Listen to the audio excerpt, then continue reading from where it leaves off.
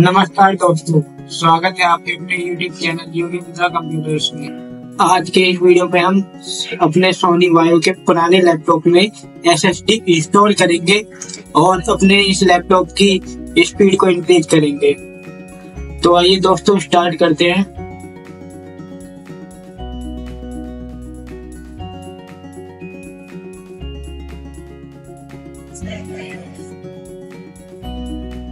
ये हमारा hard disk का स्लॉट ओपन हो गया है।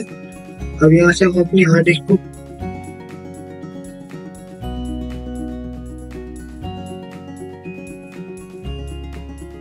हार्ड डिस्क को बाहर निकालेंगे। और इसका जो केस है, इसको हम निकाल लेते हैं ताकि इसको हम एस में इंस्टॉल कर सकें।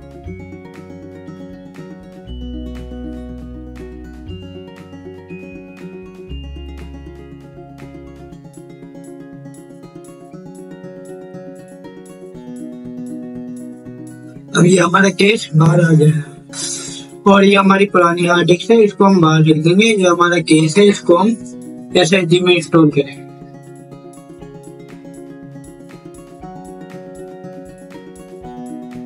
ये हमारी किंगस्टन की एस डी है, जो कि सादा एस डी है।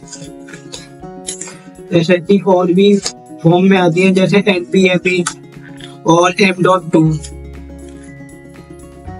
इसमें, इस लैपटॉप में जो कि ये ओल्ड है, इसमें एनवीएमई और एम डॉट टू के डॉट नहीं थे तो मुझे इसमें साटा इंस्टॉल भी करनी पड़ेगी।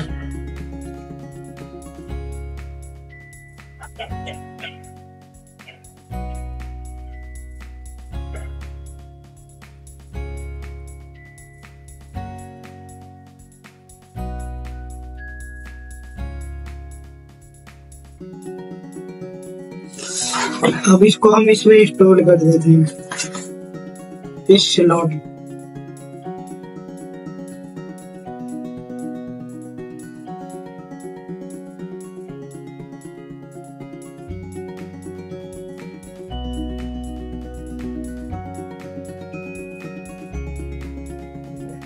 और हमारे पुराने लैपटॉप में नई एस इंस्टॉल हो चुकी है।